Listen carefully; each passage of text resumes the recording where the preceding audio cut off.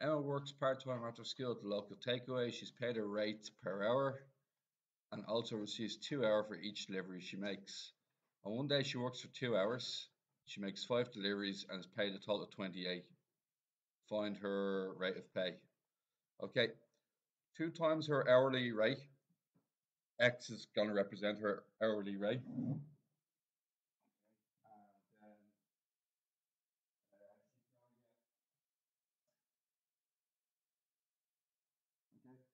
And then she's going to make five deliveries, so that's five by two euro, which is 10 quid, isn't it? 10 quid for the deliveries equals 28 quid. Take away 10 euro, you get 2x equals 18, and then divide by 2 and you get x equals 9. So she's on a rate of 9 euro per hour. Uh, okay. All right. Part B. One week she works her H hours and makes D deliveries. Write a formula in H and D for the wage she receives. Okay, her wage is 9 multiplied by the number of hours she works. Is that right? 9 euro per hour. So 9 multiplied by H is 9 times the amount of hours she works. And then 2 euro multiplied by the amount of deliveries. Did anybody get that? 9H plus 2D? 9 times her hourly wage plus 2 times the amount of deliveries you make. Another week she works for six hours and makes 12 deliveries. She also works five hours on a Sunday at time and a half and makes some deliveries. In total, she receives 161 euro 50 for that week. How many deliveries did she make? All right, let's think about this. Let's take out the six hours and the 12 deliveries to begin with. How much do you get for your six hours of work? 6 multiplied by uh, 9, 54 euro, yeah? And your 12 deliveries, 2 multiplied by 12. Is that okay? Now, next thing we're going to say is she works 5 hours. What's her rate for Sunday? What does time and a half mean? Yeah, yeah, 9 euro multiplied by 1.5, so we're going to go for 13 euro 50 here, okay? And then she makes uh, 2 euro multiplied by D, which is represents her Sunday deliveries. And that will all equal 161 euro and 50 cents. That cool, you guys? Yeah, got to put all into calculator. We're to get 54. We're going to get 24. I'm to get 5 times 13 euro 50. And that's going to total up to 145 euro and 50 cents. Plus my two times my delivery equals 161 euro 50 cent. Okay, I'm going to take uh, 145 euro 50 cent away from 161 euro 50 cent. I think I'm going to find out that 2 times D is 16, is that right? And that means your D value must be 8. You must have made 8 deliveries on that Sunday. All right. Uh, question 2 is covered already. Right, question five, patterns. We have a sequence here. What's the sequence going up in? What you notice about the sequence? Two, four, six, eight. That means it's not a linear sequence. And what you notice about the second difference? Huh? If the second difference is the same, is known as a quadratic sequence. Okay, so this is a quadratic sequence. Now, what what what's the next number on the list then? It's going to go up by 10. Next one after that, yeah, 12.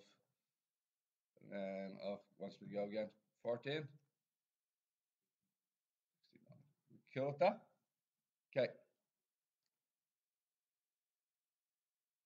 Use the starting table show the pattern is quadratic.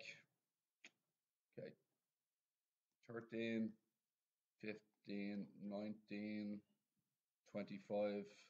Was next one 33, wasn't it? And all you have to do is say second difference is the same, C series is quadratic. This is literally your working sort. You just say second difference is constant sequence is quadratic. Doesn't have to be two, it can be any number that doesn't change. Could be three, it could be four. Okay? Now, they want us to find the values of B and C. Everybody see that? This would usually be a TN question, but in this one they're using UN. Okay? Now, here's how you do this type of question. Does anybody know what U1 is? U1. What's the answer for U1? 13. Do you know what that means? If I replace n with 1, the answer has to be 13. Okay? So here's what is a long note. So 1 squared is 1. This is B and C. Throw the 1 to the other side. And you get B plus C equals 12. For the U2 equation, I'm replacing n value with 2. So I'm going to get n squared plus b times 2 plus c. The answer for u2 is 15. So I'm going to put it equal to 15. And then, oh sorry, that's 2 squared. So it's going to be 4 plus 2b plus c equals 15. Going to bring the 4 to the other side and take it away from the 15. So I'm going to get 2b plus c equals 11. Everybody get those two equations? Anybody? All right. I'm going to get rid of the c value. So I'm going to multiply this blue box by minus. When I multiply the blue box by, box by minus, I'll end up with a minus c. And then I'll add downwards. And then we'll find out that my answer for B is actually uh, 23.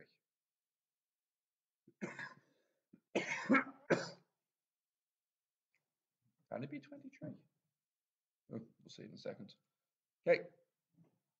If 23 is the B answer, what do you think the C answer is? 23 plus C equals 12. So what do we reckon? C is 12 minus 23. C is minus 11. Keep going. Okay. Uh, next one. The table below shows the first five terms of, a, of an arithmetic sequence. The minute you see the word arithmetic sequence, or you notice linear sequence it's also called, or you notice that the difference is always the same. What formula do you pull out? you can generally pull out a Tn equals a plus n minus 1 times d. Okay, a plus n minus 1 times d. It's in your tables, isn't it? It is in your tables, okay? Now, what's the a value? What's anybody know what the a value is? The a value is always the first part of the of the sequence, which is 12. Who knows what the uh, d value is? Two. So we're gonna we're gonna put tn equals uh, 12, and that's gonna be two there, isn't it? So that'll be 2n minus 2. You multiply in the d into the n minus 1. And who got uh, 10 plus 2n? Okay, good is it gives you any term you want. So if I wanted T5 as an example, see the way we know that T5 is 20. But if I replace uh, 5 in for this equation, see the way it automatically calculates up 20 without me having to do it? That's how the formula works. Once you follow the steps in the recipe, then it will automatically give you any term you want.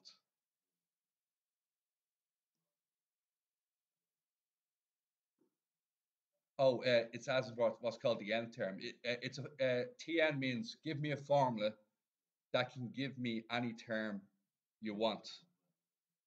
Exactly, it's like a universal formula that will give you any term you want. Yes. Where are we getting to n from? If you look up the top, you see the d value was two. And you see the way I multiplied in by the 2 to get 2n minus 2.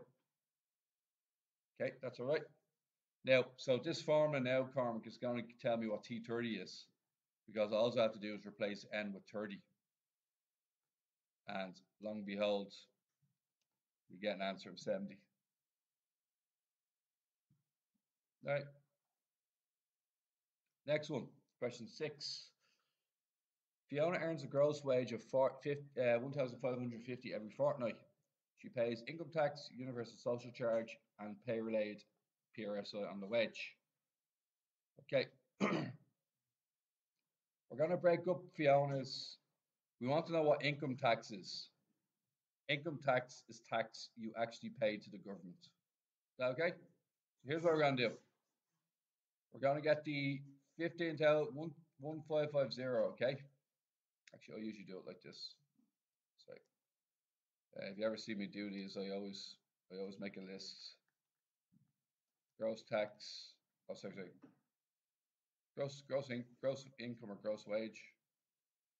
Uh, tax at 20%, is it? And then we have tax at 40%. You add them both together to get your what's called gross tax. You take away your uh, what's it called tax credits. Tax credits is tax you don't pay, and then we get what's called income tax or tax payable. Okay, so let's go through that. So you have 1550, and that's broken up into two parts, isn't it? What's it broken up into? It's broken up at 1300 at 20% and the other one. How much more money do you make more than 1300? How much extra money do you make, lads? Above 1300. You make 250 and that extra 250 gets charged at 40%. So we're going to get 20% of 1300 and then 40% of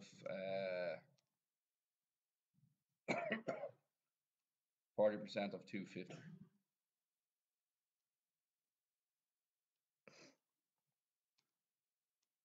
And that's 100 quid. Now, we're going to add the two of them together to get what's called gross tax. We should pay the government 360 euro, but we're not going it because we have tax credits. The tax credit is 126. So we take the two of them away from each other and we get 234. That's how much money you're actually going to pay. Now, each fortnight, Fiona also pays USC, Universal Social Charge, on her wage. The rates are 1% on the first 462, 3% on the next uh, 214, and 5.5% on the balance. Find the total amount of USC she pays fortnightly. Okay, what's she getting paid again? 1550. So we're breaking up into three parts, aren't we? 462. We're breaking it up into 214. And then we need to break it up into the remainder. Is that all right? So the remainder is uh,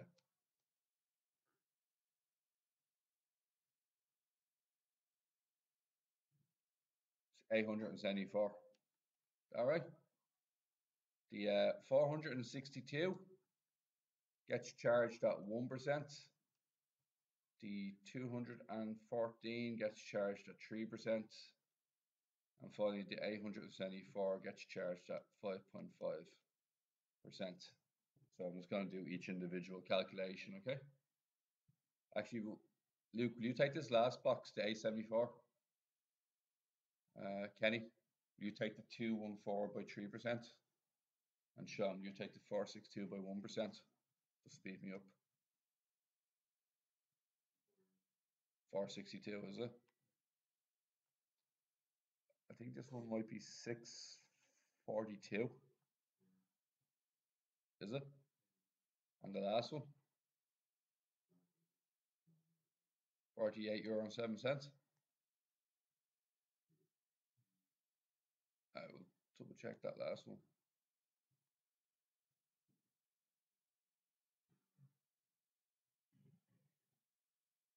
470807, yeah. All right, add them all together.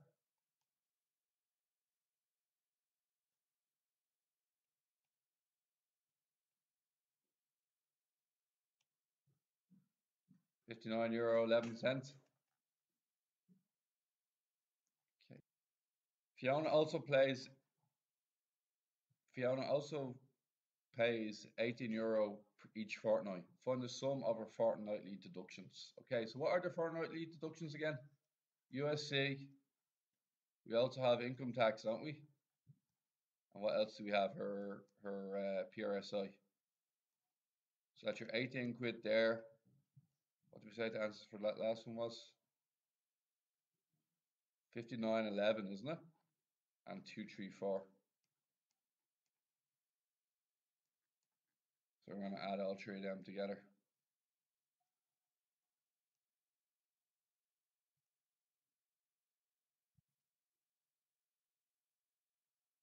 Three hundred eleven and eleven cents.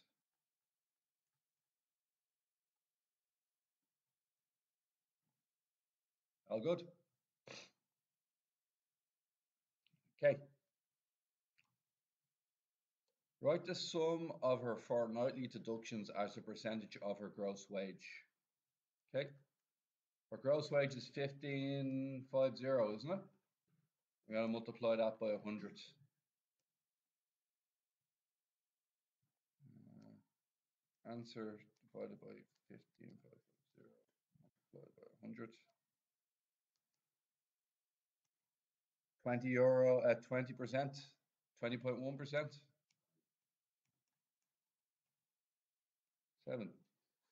Paul has eight grand that he wants to invest for a maximum of three years. His local bank is offering two options, option one and option two. Okay. Let's go for option one. Okay. Everybody see 8,000? How do you increase it by 2%? What you need to do to increase something by 2%? You multiply it by 102% or you can multiply by 1.02. Your choice. Okay? If you put 102% into your calculator, it will it will come out as 1.02. Is that okay? Now, how do you increase it for next the year after that then? How do you increase it by 3% then? Multiply your answer by 1.03. That's what will happen. The two of them will multiply first then the answer will get multiplied by 1.03. Then the answer to that will get multiplied by what? Exactly, and that's how you do it all in one swoop. You don't you, you can write it in year by year if you want. You'll still get the same answer. So I know some people who will do it who do it like this. They go 8,000 by 1.02. They'd write down the first answer. Then they'd multiply by 1.03. They'd write down the second answer and then they'd multiply by 1.05 and they write down the third answer. But you can do it all in one go and you get 8,825 euro and 4 cents. All right, pause it there. Okay, next one. What happens if we choose option two? Now there is a formula for this in your tables. It's called final value. It's, it's under business maths and it's P plus I to the power of T. Everybody see that? Okay, what's our I for this question? What's our interest rate? 3.7%. I'm about to make a mistake. I'd like you to tell me what mistake I'm going to make. I've made it already. If you read your tables, it will say that I has to be in decimal form, not percentage form. So you can put 3.7% into your calculator if you want and it will kick back out that it's 0.037. Now, what's 1 plus i then? 1 plus i will be. And you know what that means? That's, that's multiplying so that you increase your value by 3.7%. Is that okay? How many years do we do for? That's to, to the power of 3. It's the same thing as multiplying it by 1.37 three times because you're increasing it by the same percentage three times. Okay? And our initial investment, Eight grand, wasn't it? Okay, let's find out.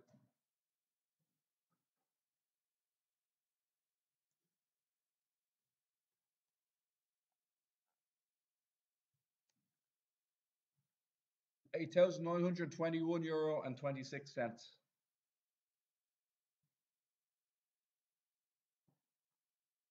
Safe to say we know which one's bigger now, don't we?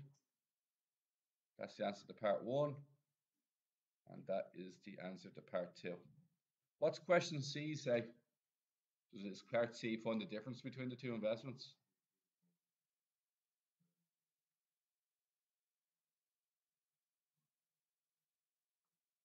Between option one and two. Give one uh, something that he might have a, uh, a reason with. Okay. Let me see. I suppose we can look at it this way. Imagine he had to take out money. Yeah. See the way that see the way that one kicks at five percent at the end.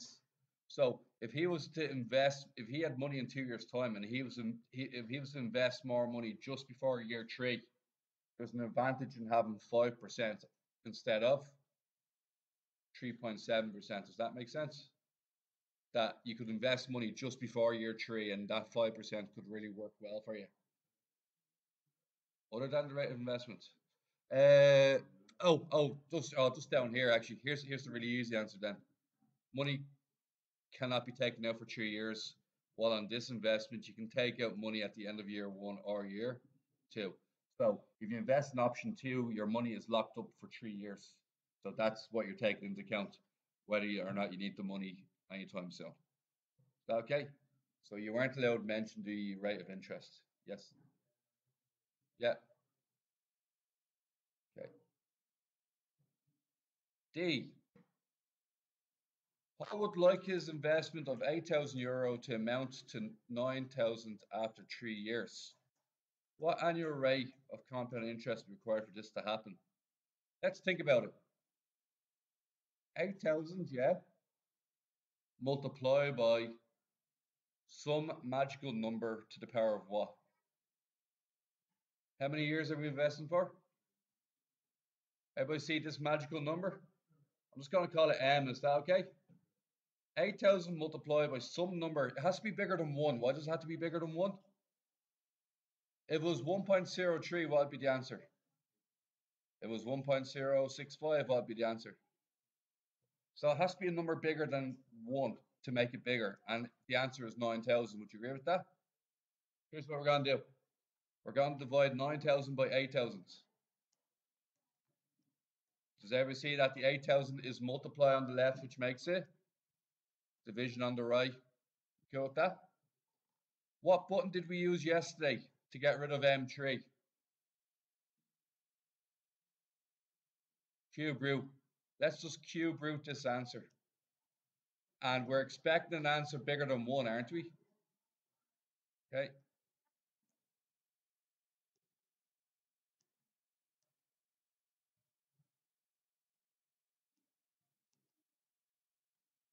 One point zero four.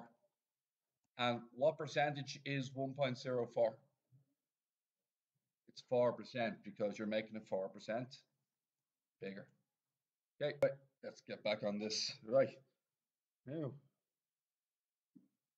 Right. Another bank offers to invest money at eight grand in a special fund. This bank has found that in the short term, the amount of money in this fund is V equals 8,000 plus 36T minus 1.2T squared. Find the value of money in the fund after 12 months. Now, what I like to do with these questions is the minute I see the formula, I just go table function and I just lob in the full formula. Okay, and I, I always tend to do this. And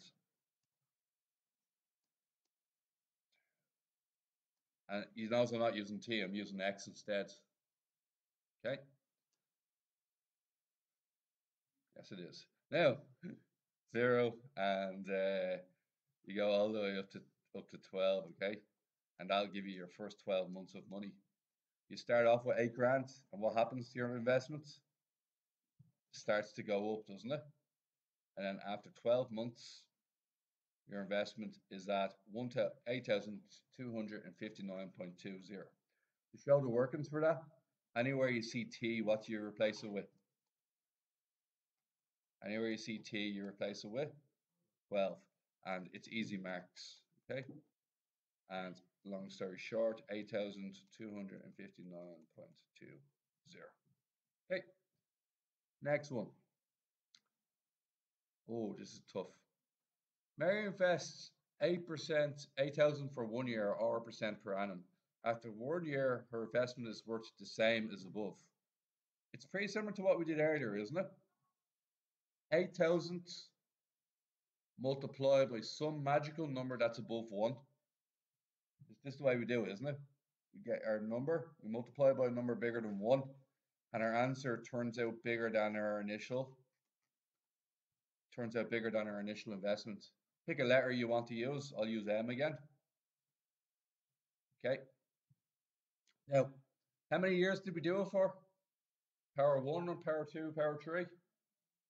Just one year, isn't it? Power 1. Okay. What you do with the 8 grand on the other side? Okay.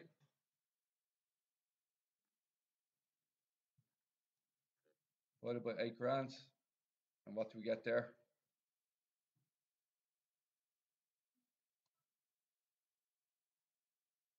If somebody just charges me out that number, I'll be quite happy. 1 divided by the other.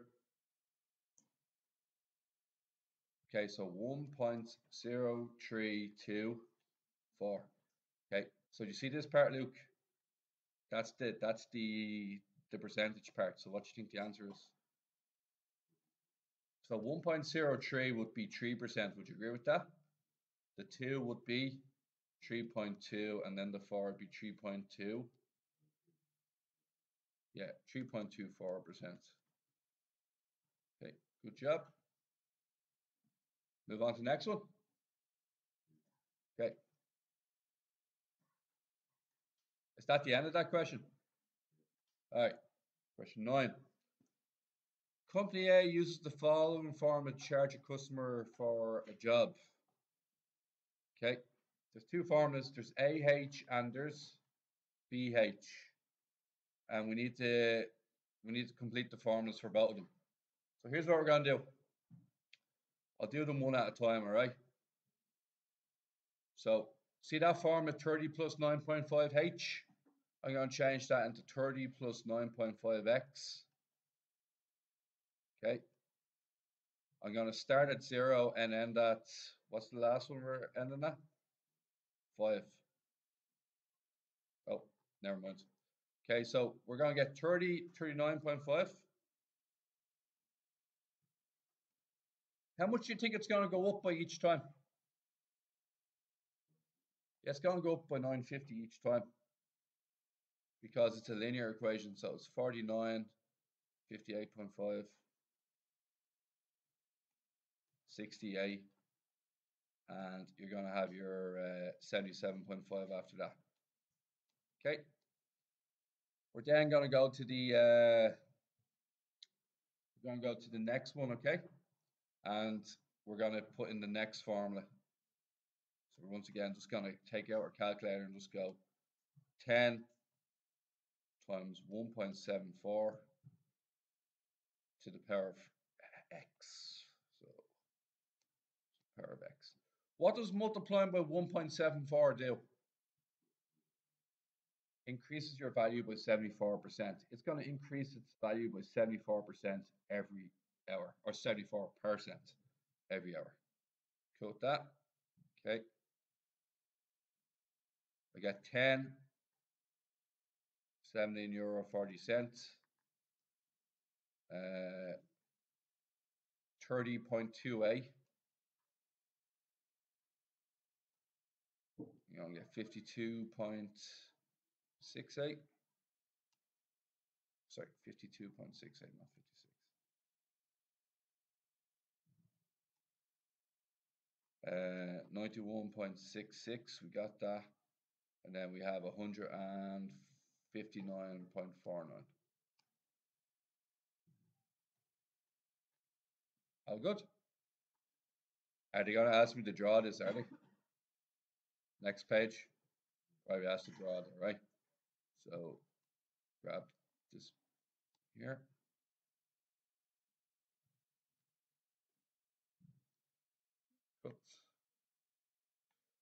They're very nice like that. If you can use your table function on your calculator, that you can you can load up on marks on every question.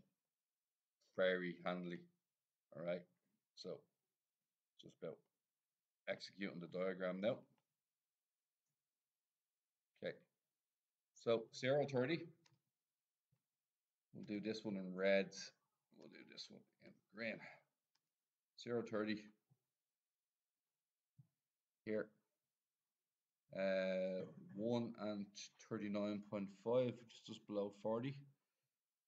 And 2 and 49, just below 50. Uh, 3 and 58.5. Uh, 4 and 68, below 70. And then 5 and roughly 5 and 77. This one has to be a straight line. Why is it a straight line? Can anybody tell me? Why is it a straight line? It's going up the same amount each time. It's going up 9.5 each time. Has the same difference. Has to be a straight line. Okay, next one. A trick here. All right, green 0, 10. 117, 240, sorry, 230, 30-ish, 352, 491, 560 basically. This one's what's called an exponential function.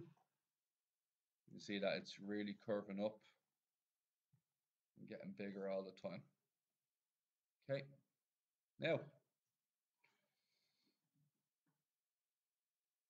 which company would charge least for a job that is, sorry, there?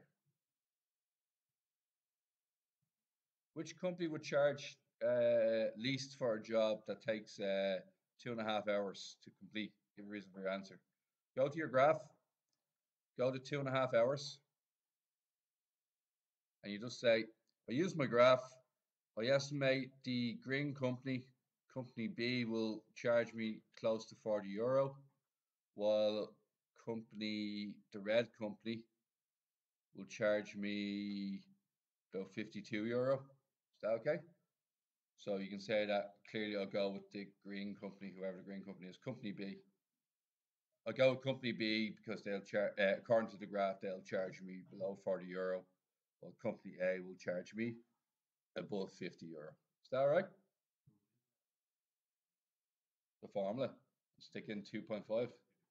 Yeah, it does. It does. It doesn't say that you're not allowed to use the graph. Uh, it doesn't say you have to use the graph. So, yeah, why not? All right. That's probably quicker though, is it?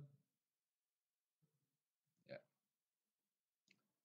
Is everybody happy enough with my reason? Uh, we'll we'll do Luke's way as well. Luke, what are the two formulas again? What's AH again? Uh, so it's 30 plus 9.5, yeah? And you're just going to sub in 2.5 there, is it? And what about BH?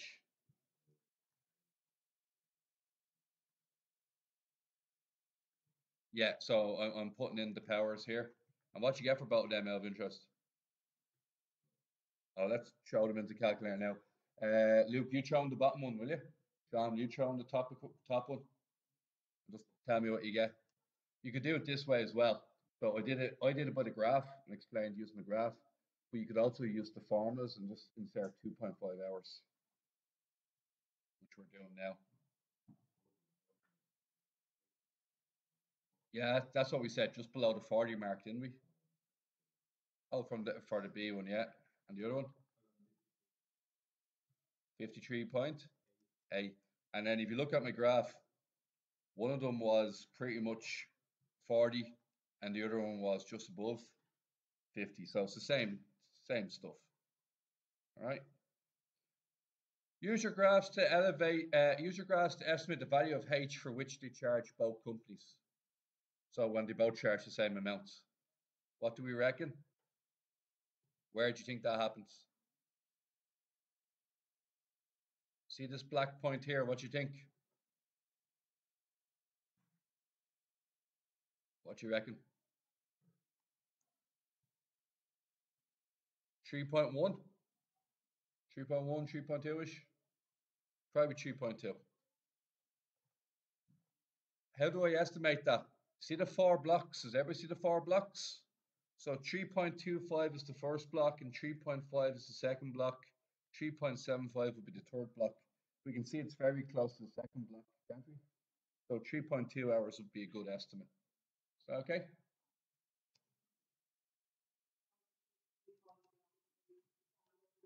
Uh, we have a choice here. We can do Luke's methods, or we can we can do the we can do the graph methods, or we can do the formula methods. Which one's more accurate?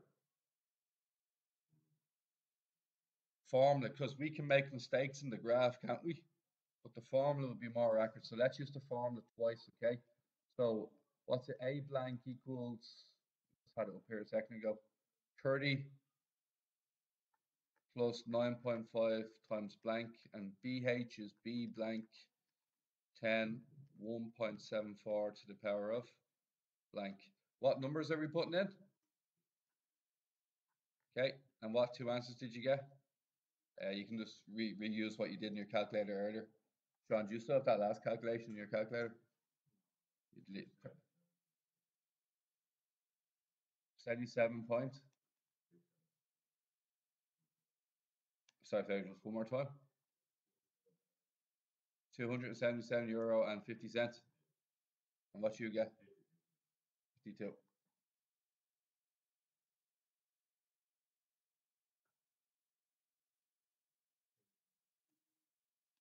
Take them away from each other. I think it's uh, 190.52. Yeah. What, where are we able to use our graph for this question, yay or nay? Why? Because the graph doesn't go beyond 5. So the graph wasn't an option for this question. So that's it. All right, guys.